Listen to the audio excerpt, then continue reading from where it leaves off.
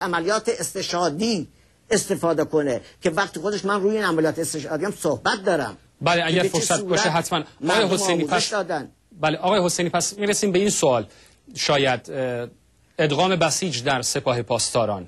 برخی از کارشناسان معتقدند ریزش هایی در بسیج پس از حوادث اخیر در پی انتخابات ریاست جمهوری اتفاق افتاد و در پی اون تصمیم گرفته شد که به علت این ریزش ها به گفته این عده از کارشناسان بسیج با سپاه با نیروی زمینی سپاه ادغام بشه. نظر شما چی هست؟ من با این نظر دقیقا موافقم که اون رسالتی که برای بسیج در نظر گرفته بودن و اون مأموریتی که به سپاه پاسداران داده شده بود در روزهای بعد از انتخابات به کلی رژیم رو ناامید کرد.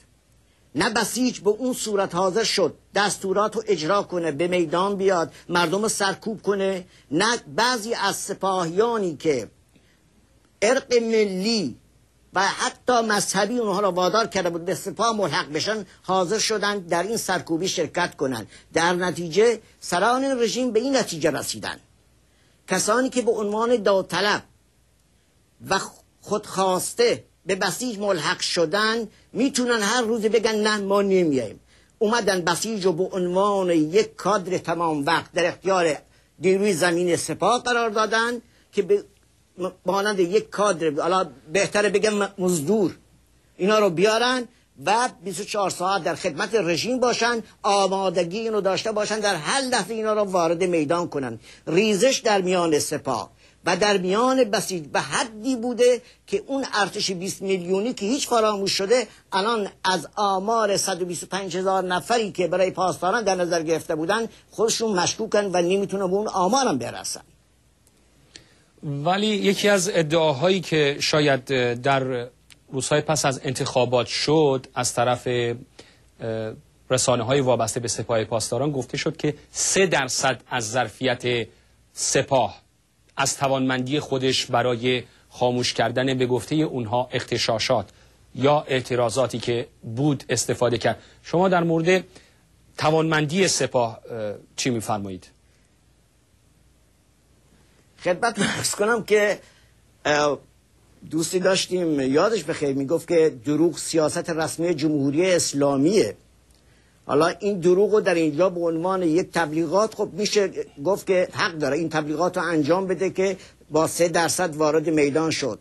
ولی برعکس تمام نیروی بسیج و پاسداری که در تهران و حومه تهران داشت حتی از شهرهای اطراف نیرو رو وارد کرد برای سرکوب مردم ولی باز هم نتونست. حتما شما فیلم ها رو دیدین و مکالمات فرماندهان سپاه یا بهتر هست بگویم که سرکوبگران تظاهرات رو شنیدین که به چه صورت آه و نالشون بلند شده که به هیچ وقت نمی‌تونن با این موج مردمی روبرو بشن؟ کسرت موج به حدی هست؟ بله. سپاه اون چی که در اختیار داشت اون چی در تهران در تهران و اطراف در اختیار داشت وارد کرد. حالا وارد میدان کرد. حالا بعد که می‌تونیم که بگیم در بلوچستان چی نیروهایی داره در کردستان در شهرهای دیگه به چه صورت؟ همونطور که در گزارش شما اومده بود سی و یک منطقه تقسیم کردن و در این مناطق حالا فعلا می‌خوام با ادغام بسیج ترمیم سازماندهیشون کنن. گسترش سپاه پاسداران از روز اول یک گسترش غلط و گسترشی بود در جهت صدور انقلاب و خودمختاری و خودکفایی ولی عملا نتونست. به همین صورت به همین دلیل بود که چون باید جواب می‌داد. بله. به, مقا... به کسانی دیگه. به همین صورت ناچار شد دنبال سرمایه بگرده و سرمایه به دست بیاره که این سرمایه مخفی باشه و جواب دهنده به کسی نباشه. این بله. یکی از دلایلی هست که سپاه رو به اقتصاد کرد. آقای حسینی اجازه بفرمایید در اینجا سرهنگ محمد رضا آریان از اروپا با ما هست. از فرماندهان پیشین نیروی انتظامی هستند. ایشون درود بر شما آقای آریان.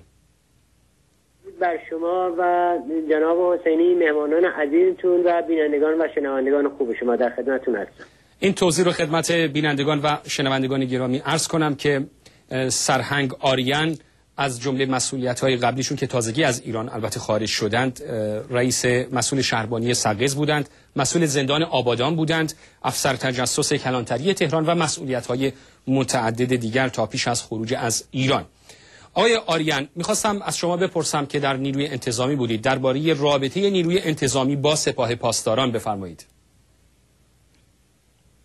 بله ابتدا تایید فرماشات این همکار و همرزم عزیزم. و خسته نباشید بهشون که دارن در این مسیر تلاش می‌کنن برای افشاگری. از کنم خدمتون نیروی انتظامی بعد از اینکه جنگ تموم شد و نیروهای سپاه از میدون نبرد برگشتن. یک جورهایی باید بر داخل حاکمیت می‌کردند و در زمان آقای سرتیب محمد سهرابی ادغام در بین نیروهای شهربانی و ژاندارمری و کمیته اتفاق افتاد. بعد از اون آقای سیف اللهی رو آوردن به عنوان رئیس یا فرمانده انتظامی کل کشور منصوب کردند. اینها شروع به تصویب و پاکسازی نیروهای مخلص در شهربانی رو کردند و همین باعث شد که به نوعی من عرض بکنم خدمتون نیروی انتظامی یا ژاندارمری و شهربانی رو عرض بکنم سپاه مصادره کرد. و افسران شرافتمندی که وظیفهشون دفاع از جان و مال و ناموس مردم بود یا کناره گرفتن یا به حاشیه رانده شدن و در نهایت سپاه تونست بر نیروی انتظامی تسلط پیدا بکنه. و همین باعث شد تا امروز هم که می‌بینیم رابطه خوبی بین پرسنل نیروی نیروی انتظامی و فرماندهانی که بر این نیرو حاکمیت می‌کنن و نیروهای سپاه پاسداران رابطه خوب و مناسبی نیستش. آقای آریان شما در نیروی انتظامی خب با مردم سر و کار داشته فکر می‌کنید سپاه چه جایگاهی در بین مردم داره؟ ببین عزیزم اگه فلسفه وجودی و فلسفه ذاتی نیروی انتظامی رو از منظر قانون بهش نگاه بکنیم نیروی انتظامی برای حفاظت و حراست از جان و مال و ناموس مردم تربیت شده و استخدام شده. نیروهای سپاه نگهبانان انقلاب اسلامی هستند. برای نگهداری از انقلاب اینها تربیت و استخدام, استخدام شده هستند شدن.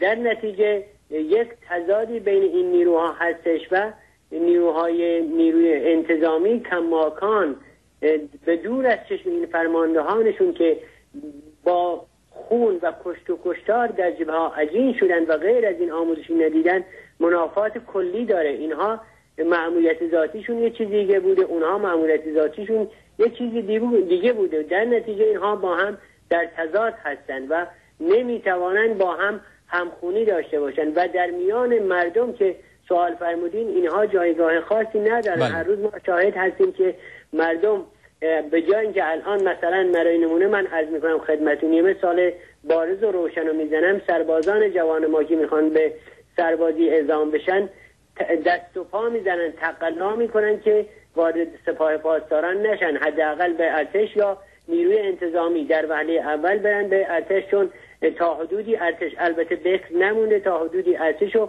بیشتر این عزیزان تمایل دارن که برن در نیروهای ارتش خدمت سربازیشون رو تمام بکنن. چون می‌دونن این سپاه نیروی سرکوبگر هستش و هیچ گونه به هیچ نوع نحوی جوانان ما تمایل به ورود به این نهاد رو ندارن و این نشون میده که اینها در بین مردم جایگاهی ندارن و پله به پله قدم به قدم روز به روز این جایگاه مردمی خودشون رو دارن از دست میدن. بله آقای آریان آخرین پرسش بنده این هست. اگر کوتاه بفرمایید احمد رضا رادان جانشین فرمانده کل نیروی انتظامی رو از نزدیک می‌شناسید شما و در صحبتی که داشتیم گفتید که ایشون پاسدار بودند درجه ای نداشتند سپاهی بودند بعد به نیروی انتظامی وارد شدن. یعنی به نوعی ذوب شدن از دید شما نیروی انتظامی حتی در سپاه پاسداران. ممکنه مختصر توضیح بفرمایید در این باره. بله اگه زمان کم هستش من مختصر اشاره می‌کنم. ایشون اصفهانی هستن با اومدن آقای سیف اللهی و دیگران وارد نیروی انتظامی شدن. ابتدا از سقز شروع کردن در زمانی که در سرکوب های کردستان در سقز ایشون بودن. بدون داشتن درجه و با حمایت سردار رستگار پناه سردار رستگار پناه ایشون اومدن بر شهربانی استان کردستان و ژاندارمری که